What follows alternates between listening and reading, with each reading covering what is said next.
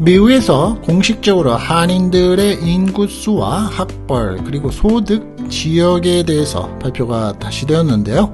우리가 상식적으로 우리 주변에서 어느 정도의 사람들이 어떻게 살고 있는지 한번 짚어봅니다. 북한이 전 세계에서 가장 신경이 쓰인다고 말하고 있는 우크라이나에 관한 내용입니다. 시간당 3달러의 아이를 봐주는 미국의 노인들의 직업 인기 폭발 중이라고 합니다. 중국을 줄줄이 떠나는 세계적인 기업들 도대체 이유는 무엇일까요? 한국의 기업들은 어디가 있을까요? 500달러를 내고 남편의 바람길을 막는 캠프가 화제가 되고 있습니다. 이 내용에 대해서 중국은 발칵 뒤집히는 일이 있었다고 합니다. 한국에서 6급 이하의 공무원들에게 약 112만 원의 추석 명절 휴가비를 지급한다고 합니다. 어, 사람이 왜 저렇게 변했어? 인지 저하 증상인지 혹시 치매 전 증상인지 함께 여러분들과 알아봅니다. 아이스 커피나 혹은 얼음을 넣고 드시는 음료들 절대 씹어 먹지 말라고 합니다. 기침약도 조심해야 된다고 하는데요. 그 이유, 내용에 대해서 오늘 짚어봅니다. 오늘도 뉴욕 헤드라이팅과 함께 하실 글로벌 핫 이슈입니다. 반갑습니다. 뉴욕 기다리기 쌤입니다. 9월 15일 주말 시간입니다. 여유로운 주말 시간, 연휴의 긴 시간 함께 해주시는 우리 시청자분들께 더없이 이번 주는 더욱더 감사드립니다. 오늘의 영상이 시간이 아깝지 않았노라라고 하실 수 있는 알찬 시간으로 준비를 해 보겠습니다. 오늘 영상도 끝까지 함께 해주시고요. 자, 오늘 첫 번째 주제부터 들어가 보겠습니다. 내가 살고 있는 지역, 특히 이제 미국의 한인분들이 살고 계시는 지역에서 내 주변에는 참 한국 사람들이 참 많이 보이는데 들리는 랭귀지는 한국말이 영어보다 더 많이 들리는데라고 하시면서 살고 계시는 분들이 계시고요. 한국 사람을 가뭄에 콩나듯이 보기가 어려운 지역에 살고 계시는 분들이 계실 겁니다. 살다가 보면 때때로는 같은 옆에 한국 사람들이 반가울 때도 있고 때때로는 그것이 조금은 아, 문제시 된다라는 것을 많이 보게 되는 그러한 경우에 환경적인 영향도 있을 수 있습니다. 그렇다면 미국의 공식적으로 한인의 인구수 그리고 그 한인의 학벌의 평균 수준이 어떻게 되고 인컴이 어떻게 되고 어느 지역에서 많이 살고 있는지를 한번 간 단하게 짚어보겠습니다. 2023년도 현재의 미국의 전국의 한인의 인구수가 데이터 이런 데이터들은 대부분 이제 센서스를 기준으로 하죠. 그렇다면 무엇을 말하나요?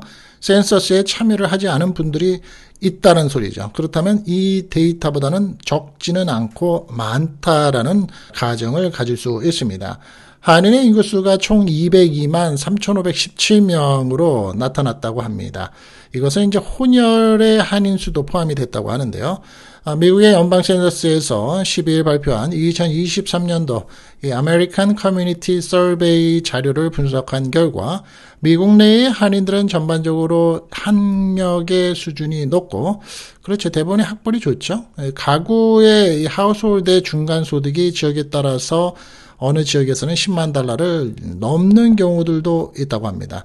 대도시인 경우가 그럴 수 있겠죠. 뭐 뉴욕이라든지 시카고, 시애틀 뭐 이런 데가 아마도 그렇지 않을까 싶습니다. 물론 캘리포니아도 그렇고요. 하우스홀드의 중간 소득의 경우에는 구체적으로는 미국 전체 한인들의 9만 6,430달러를 기록한 가운데 캘리포니아 주의 오렌지 카운티 같은 경우는 이제 좀 잘 사시는 분들이 많은데 11만 5,917달러로 특히 높은 것으로 조사가 됐습니다. 잘 사는 동네니까 말입니다. 지역별의 인구 구성은 한인들이 가장 많이 거주하고 있는 이 캘리포니아의 경우에는 56만 4,443명이라고 하고요. 이 LA 카운티는 21만 3,664명, 오렌지 카운티가 12만 4,801명으로 집계 통계를 얘기하고 있습니다. 202만 3,517명의 미국의 한인들 중에서 혼혈을 제외한 순수 한인은 76.5%라고 얘기를 하고 있습니다. 그렇다면 혼혈이라는 퍼센트는 대략 23.5%가 되는 거죠. 남녀 비율로 보면 여성이 53.3%, 남성이 46.5%로 여성이 좀 더 많다. 저는 이렇게 데이터가 나온 거, 이 부분은 조금 그럴듯하다라고 생각합니다. 제가 이민을 왔었던 30년 전만 해도 그 당시에도 여성이 더 많다라는 느낌을 가지고 살았기 때문에 이 데이터가 계속해서 여성이 많다라는 부분, 또 데이터의 수치가 남성보다 한 7% 많다는 거에 대해서는 데이터가 좀 나름대로 정확하지 않겠느냐라고 생각을 개인적으로는 좀 해보는 생각이 듭니다. 이 American Community Survey의 역대 통계에 따르면 미국의 전체 한인의 인구는 2017년에 이 도표를 좀 보시죠. 188만 7,914명에서 2년 후에는 190만 명 정도, 그리고 2022년에는 200만 명 정도, 어, 그리고 2023년에는 좀 더 많았다라고 얘기를 하고 있습니다. 텍사스주는 캘리포니아주와 뉴욕주에 이어서 한인들이 가장 많은 인구의 분포를 보이고 있는 state라고 하고 있고요. 캘리포니아주의 한인의 인구가 56만 4,443명으로 가장 많았고 뉴욕주가 15만 4,137명, 텍사스주가 13만 152명. 다음으로 이제 뉴저지주가 유입이 굉장히 한동안 많이 되고 있는 주이죠. 10만 8,840명인데 이것은 뉴저지 쪽에서 얘기를 할 때는 이보다 훨씬 많다. 14만 어, 5만까지 짐작과 추세를 예상하고 있는 지역이기도 합니다. 물론 텍사스주도 그렇고요. 워싱턴주는 10만 5,604명 등의 순으로 나타났습니다. 한인들의 중간 연령은 37.3세로 나타났고요. 65세의 인구, 우리가 이제 은퇴를 하는 인구는 14.4%에 달했습니다. 25세 이상의 한인 중에서 대학 졸업자가 35.8%로 가장 많았고요. 대학원 이상이 23.4%, 고졸이 14.8%, 그리고 고졸 이하가 5.9% 순이었습니다. 자, 이 부분도 조금 놀랄 만한 숫자이긴 하죠. 고졸 이하, 고등학교 중퇴와 중학교 졸업하신 분들도 5.9%다. 미국에서 태어난 한인은 98만 6,488명으로서 한국 등 해외의 출생자는 103만 7,029명으로 각각 조사가 됐습니다. 뭐 수치를 외울 수는 없죠. 그렇지만 이 정도 선의 한인들이 살고 있다라는 점으로 상식적으로 알아두시기 바랍니다. 북한이 가장 신경이 쓰이고 있다라고 말을 하고 있는 전 세계에서 가장 신경 쓰이는 나라다라고 얘기하고 있는 어, 나라가 있습니다. 한국일까요? 현재는 아닙니다. 우크라이나입니다. 우크라이나 군사정보의 책임자가 러시아의 다른 동맹국들과 비교를 해서 북한의 군사 지원이 큰 우려를 낳고 있다라고 지적을 했습니다. 14일 로이터 통신 등에 따르면 키릴로 부다노 우크라이나 국방부 정보총국장은 우크라이나의 수도 키우에서 열린 유럽 전략회의에서 북한이 러시아에 공급하는 엄청난 양의 포탄 공급이 우크라이나군에 영향을 미친다며 이같이 밝혔습니다. 부다노 국장의 발언은 김정은 북한 국무위원장이 세르게이 쇼이고 러시아의 국가안보회의에 서기와의 회담을 갖고 러시아와의 협력을 더욱 강화하겠다고 약속한 가운데 나왔습니다. 그는 북한이 러시아에 포탄을 대량으로 공급한 이후에 전장에서 러시아의 적대 행위가 증가하고 있다고 토로를 했고요. 이어서 이것은 우리에게 매우 중대하지만 불행하게도 우리가 당장 할 수 있는 일이 없 있다라고 덧붙였습니다. 부다노 국장은 또 러시아가 단거리 탄도미사일 이스칸데르 M 이런 이 미사일 이름이 있습니다. 생산이 증가하면서 사용량이 크게 늘었다라며 유도 폭탄이 큰 문제라고 목소리를 높였습니다. 러시아에서 개발한 이스칸데르는 현재 전 세계에서 사용 중인 단거리 탄도 미사일 중에서 가장 요격이 어려운 미사일로 평가를 받고 있다고 합니다. 그런데 저는 이렇게도 생각을 합니다. 물론 다른 나라라고 쉽게 얘기를 하는 부분은 절대 아니고요. 우리는 무엇인가를 판단할 때에는 분명히 중립적인 입장에서 양쪽의 입장을 다 생각해 봐야 된다고 판단을 합니다.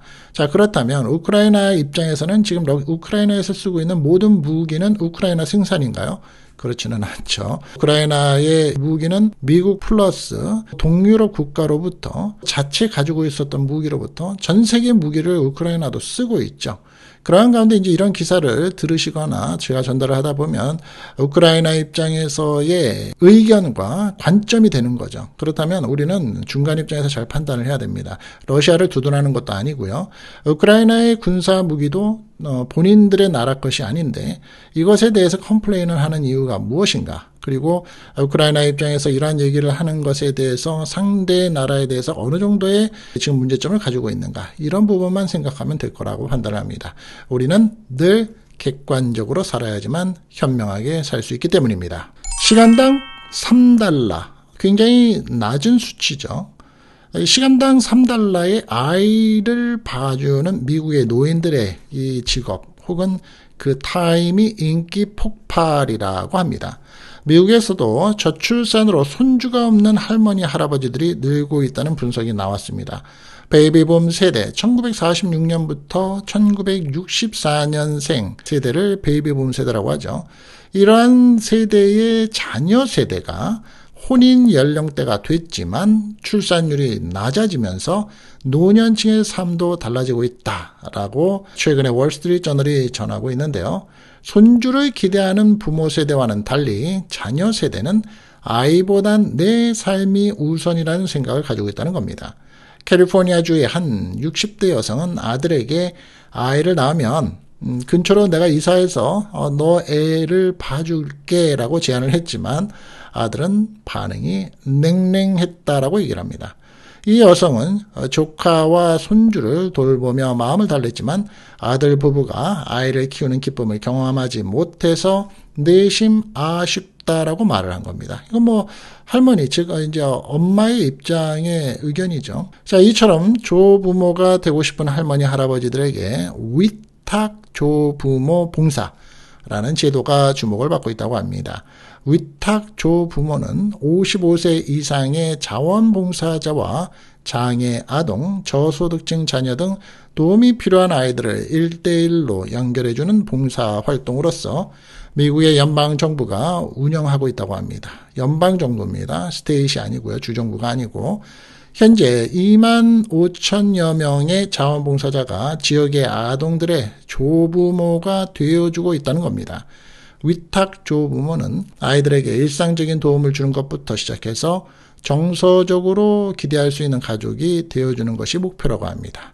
위탁 조부모의 운영 기관이 있는데요. 이 AmeriCorps라고 합니다. corporation의 약자죠. 어떻게 보면 관계자는 조부모가 될 수 있는 사람은 많지만 봉사 활동을 통해서 어린이의 삶의 조부모와 같은 존재가 될 수 있다고 설명을 했습니다. 자원봉사자에게 시간당 3달러 하나로 얼마인가요? 대략 4천원입니다. 한국은 지금 시간당 만원 돈인데 3달러 4천원이면 굉장히 낮은 거죠.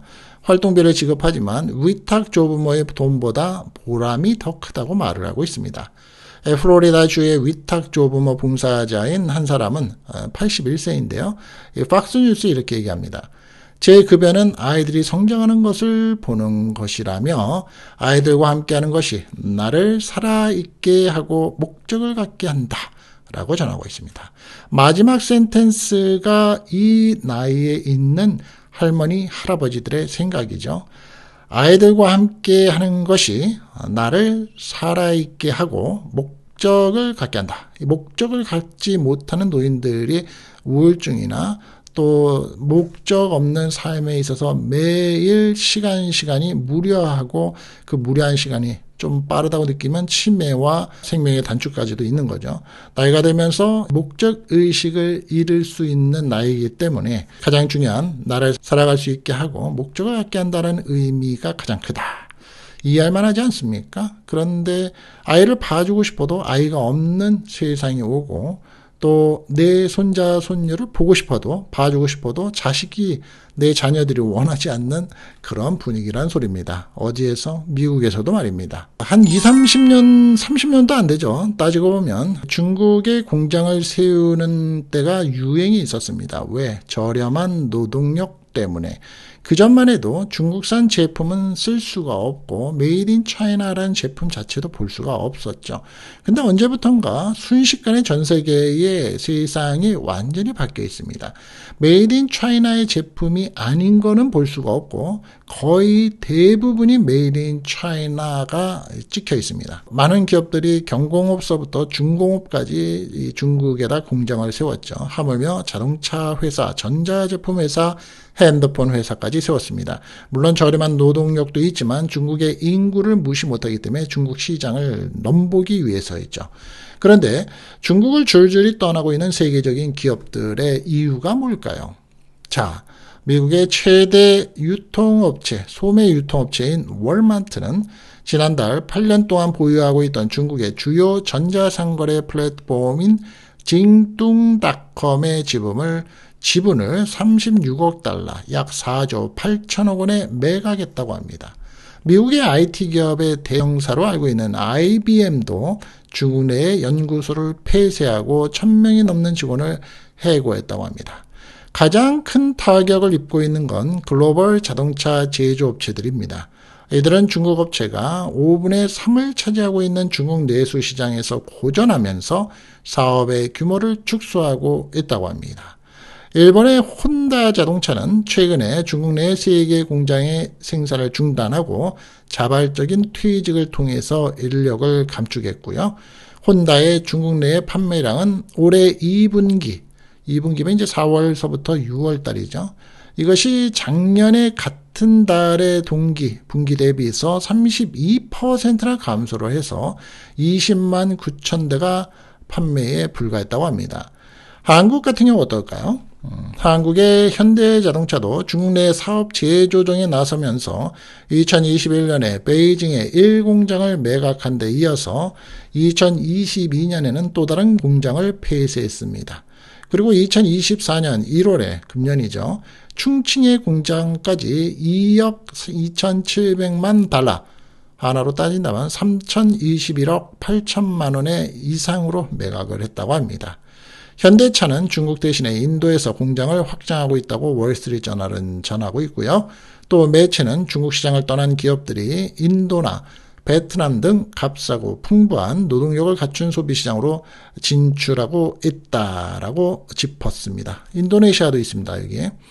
기업들이 14억 인구의 중국 시장을 겨냥해서 앞다투어 중국으로 몰려들었던 10년에서 20년 전과는 전혀 다른 모습입니다. 다만 다국적인 기업 대부분이 중국 시장을 포기한 것은 아닙니다라고 어, 얘기를 하고는 있습니다만 그렇다면 공장만 만들었다가 그냥 파는 게 아니죠.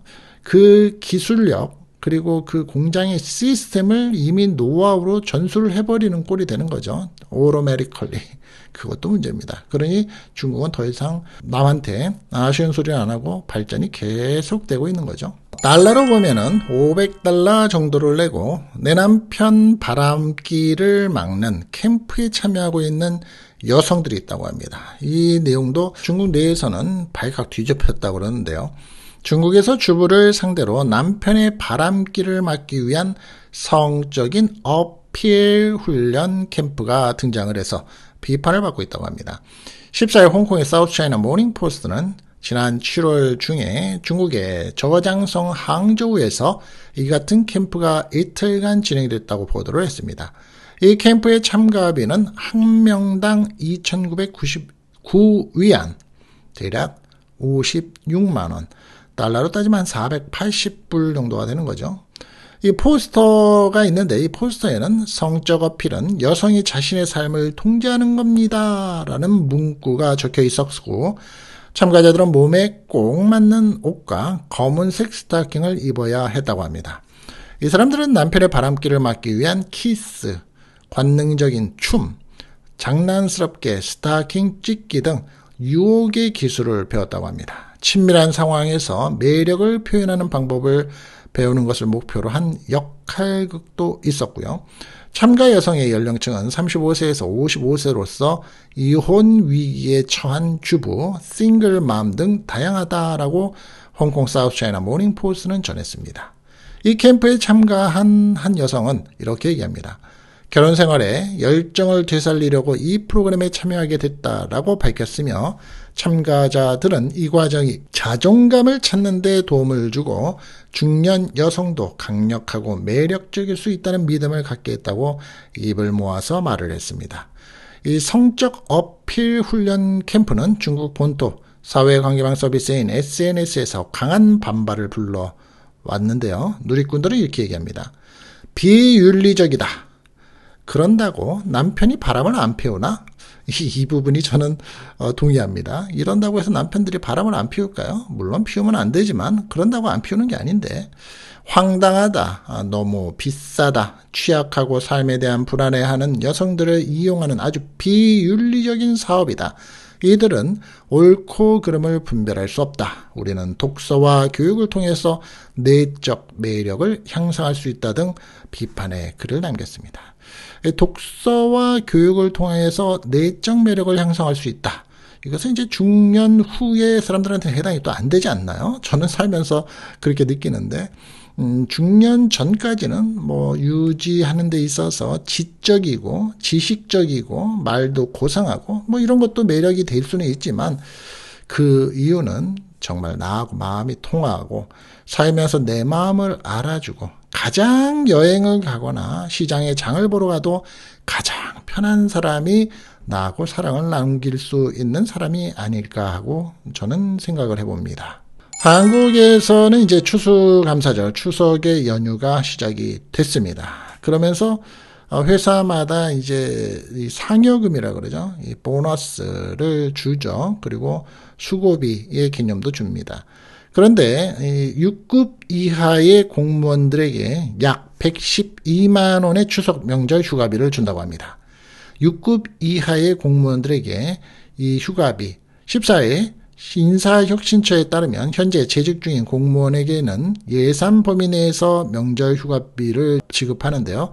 공무원 수당 등에 관한 규정은 명절 휴가비의 경우 지급 기준이 현재 월 봉급액의 60%를 추석 당일 전후 15일 이내에 각 기관장이 정하는 날 각각 지급한다라고 명시가 되어 있다고 합니다.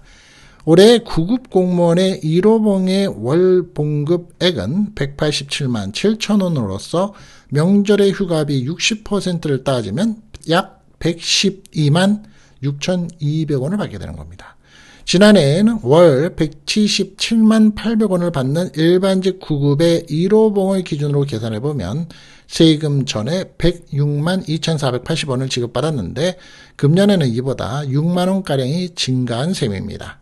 5급 이상의 공무원들에게는 별도의 명절 휴가비가 지급되지 않는다고 합니다. 2017년부터 1급에서 5급 공무원의 성과급적 연봉제가 도입이 되면서 연봉의 합산이 됐기 때문이라고 합니다. 공무원 보수 등의 업무 지침을 보면 기준 연봉액의 봉급액과 정근 수당, 정근, 가상금, 명절 휴가비가 포함이 된다고 합니다. 이때 명절 휴가비는 120%로 책정이 되는데 설날과 추석에 각각 60%씩 지급이 된다라고 하네요.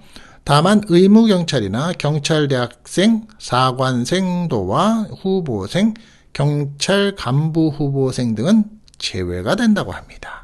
자, 이번에 영상은 좀 진지하게 들어보시면 어떨까 싶습니다. 우리 시청하시는 분들한테 한두 가지는 포함이 되지 않을까 싶고요. 많으면 세 가지, 네 가지도 될 수 있는데요. 어, 사람 왜 저렇게 변했어? 옛날에 내가 알던 사람이 아닌데, 아, 참 안타깝네. 이렇게 볼 수 있는 겁니다. 인지 저하 증상과 이것이 이제 더 심해지면 치매 전 증상에 대해서 연구진들이 발표를 했는데요.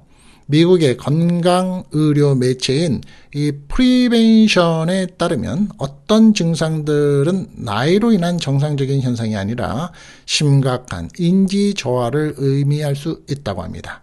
전문가들은 보통 두 개 이상인지 영역이 현저하게 감소할 때 치매 진단을 받는데 이러한 변화는 일상생활에 영향을 미칠 수밖에 없다라고 말을 하고 있습니다. 이것은 일반적으로 언어, 시각과 공간 기능 또는 멀티태스킹 실행 기능과 같은 이 멀티태스킹 실행이라는 게 이제 동시에 여러 가지 일을 할 수 있는 능력을 얘기하는 겁니다. 같은 문제뿐만이 아니라 기억력에 이상이 생겼다는 사실을 뜻한다고 합니다. 프레벤션 등의 자료를 바탕으로 절대 무시하면 안 되는 치매의 초기 징후를 정리해 보는데요. 이 같은 징후 중에서 하나가 발생하고 일상생활에 영향을 미친다면 음, 의사와 상의해서 인지 검사를 받는 것이 최선의 선택이라고 합니다. 자, 첫 번째입니다. 성격이 완전히 바뀐다고 합니다. 치매에 걸린 사람은 짜증이 늘고 좌절감에 대한 내성이 낮으며 눈물을 많이 흘린다, 많아질 수 있다고 합니다.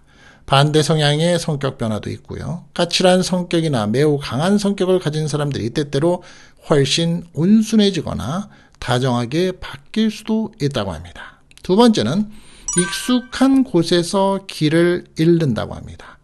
기억 손실과 시각 및 공간 지각의 어려움은 방향의 감각 상실로 이어질 수 있다고 합니다. 치매에 걸리면 수백 번 가본 곳에서도 헤매고 운전할 때 쉽게 길을 잃을 수도 있다고 합니다. 자, 다음으로는 자꾸 물건을 잃어버린다고 합니다. 일반적인 사람이 열쇠나 리모컨을 못 찾으면 그 물건을 어디에 두었는지 논리적으로 생각할 수 있다고 합니다. 치매에 걸리면 이러한 연역적인 사고가 어려울 수 있다고 합니다. 이것은 좌절감으로 이어져서 물건을 도난당했다고 의심한다고 합니다. 그 다음에는 이제 방금 배운 것을 잊어버린다고 합니다. 가끔 사소한 일을 잊어버릴 수 있죠. 어, 치매가 있으면 삶에 영향을 미칠 정도로 새로운 정보를 유지하는데 어려움을 겪습니다. 대화할 때 똑같은 질문을 반복하거나 방금 본 TV 프로그램에 깊이 있는 세부 사항을 기억하지 못할 때는 가족이나 주위의 사람들이 먼저 이를 알아차릴 수 있다고 합니다. 또한 휴대전화나 새 컴퓨터 프로그램 등에 사용하는 것에 있어서 새로운 작업을 배우는 것이 점점 어려워진다 라고 하네요. 다음으로는 돈을 제대로 못 쓴다고 합니다. 치매 환자는 수학과 같은 추상적인 사고에 어려움을 겪는다고 합니다. 그래서 청구서를 제때 처리하지 못하거나 두 번 지불하는 등 일상생활에 문제가 발생할 수 있다고 합니다. 또한 돈을 쓰는 문제에도 잘못된 판단을 내릴 수 있다고 하네요. 시간을 혼동한다고 합니다.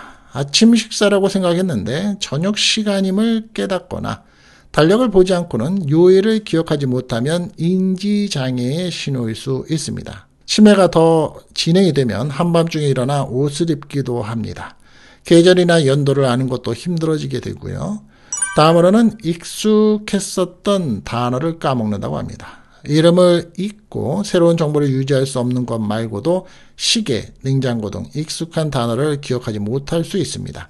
문장의 중간에 멈추거나 대화를 이어나가지 못할 수도 있다고 합니다. 다음으로는 사교적인 모임에서 점점 멀어진다고 합니다. 치매에 걸리면 많은 사람들이 참여하는 파티나 행사를 피한다고 합니다. 대화에 끼어들거나 매일 만나지 않은 사람들의 이름을 기억하기 어려워지면서 친구들로부터 멀어지기 시작한다고 합니다. 도대체 몇 가지를 우리 시청하시는 분들은 가지고 계십니까? 저도 한 두 가지 정도 되는 것 같습니다. 조심해야 될 것 같습니다. 요즘엔 멘탈 관리도 어, 오복이라 해서 이 치아 관리 조심해야 되는 것처럼 멘탈 관리도 중요하지 않습니까? 자, 다음 소식인데요. 우리 아이스 아메리카노, 어, 한국에서는 아아 주세요. 아아, 아이스 아메리카노.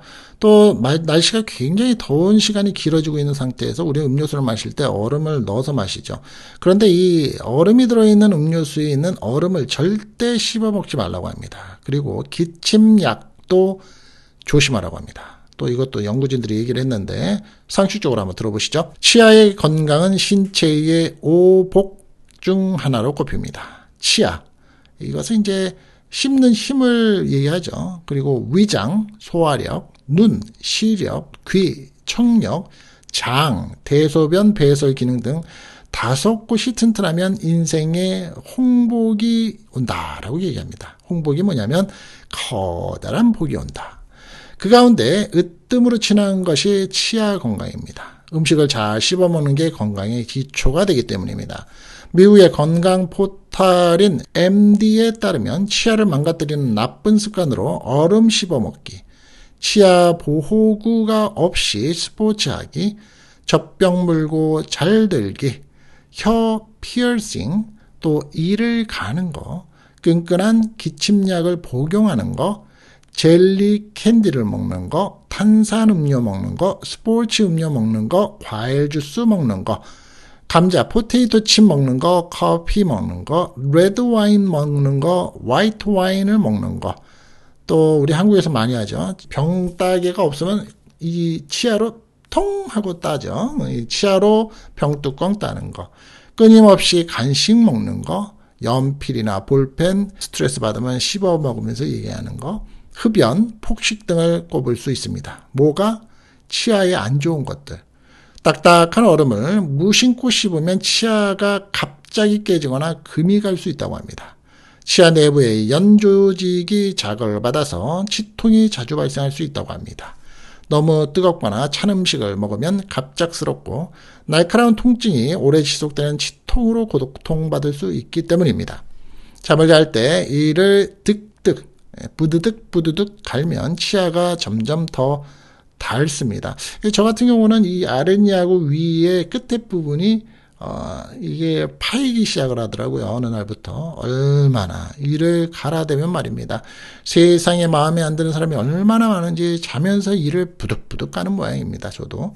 통상 이갈이는 스트레스와 나쁜 수면 습관 때문에 생긴다고 하는데요. 낮에 딱딱한 음식을 피하면 이갈이로 인한 통증과 치아 손상을 줄일 수 있다고 합니다. 그래서 저도 사실 나이트 가드를 낀 지가 한 10년 됩니다. 근데 나이트 가드를 끼워도 그렇습니다. 얼마나 마음에 안 드는 사람이 많은지 이를 바득바득 가는 모양입니다. 밤에는 치아 보호구를 착용해서 치아 손상을 예방할 수 있다고 합니다. 기침약, 이거 의아하죠? 기침약도 치아를 망가뜨릴 수 있다고 합니다. 대부분의 기침약에는 설탕이 들어있는데 기침약으로 목을 진정시킨 뒤에는 반드시 칫솔질을 해야지만 된다고 합니다. 기침약 형태든 딱딱한 사탕이든 그 안에 들어있는 설탕은 치아를 코팅하는 끈적끈적한 플라그와 반응한다고 합니다. 이 플라그 속의 박테리아는 설탕을 산으로 바꿔줘서 치아의 범랑질을 부식시킨다고 합니다. 기침약도 치아를 망가뜨릴 수 있다는 거죠. 대부분의 기침약에는 설탕이 들어있기 때문에 반드시 어, 지금 말씀드린 것처럼 플라그의 박테리아의 관계성을 따져서 조심해야 된다. 먹자마자 각오를 하셔라. 라고 하네요. 그리고 가장 중요한 건 나이가 들면서 딱딱한 거, 오징어, 또 육포, 얼음, 자제해야 되겠죠. 네, 저도 자제하고 있습니다. 자, 오늘 제가 준비한 영상은 여기까지입니다. 도움 좀 되셨습니까? 편안한 주말 시간에 저와 함께 하시면서 괜찮으셨습니까? 괜찮으셨으면 좋아요 한번 눌러주시고요. 또 놓치셨던 분들이 있으면 일생에 한 번 하시는 뉴욕 키드리슨과에 있어서 이쪽 밑에 종 모양의 알림 설정, 알람 설정 한번 확인해 보시기 바라겠습니다. 멋진 주말 시간, 편안한 주말 시간, 연휴의 시간 잘 보내시기 바랍니다. 감사합니다. 우리 채널은 사실 정보를 줘 정직하게 말해줄게. 지실만을 보여줄 때 너에게 여줄게. 가치 있는 지식은 저기 뉴욕 기다리세 당신을 위한 신뢰의 채널을 의미해 우리의 작은 소리. 전하고 싶은 메시지가 있어. 이 세상에서 정보가 넘쳐나는 만큼 뉴욕 기다리센 당신을 위한 안정된 플랫폼 내 속에서 생생한 신뢰를 만나봐.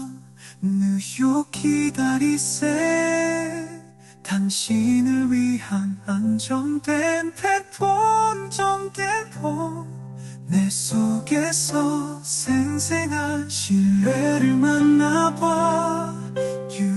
기 다리세 당신을 위한 안정된 플랫폼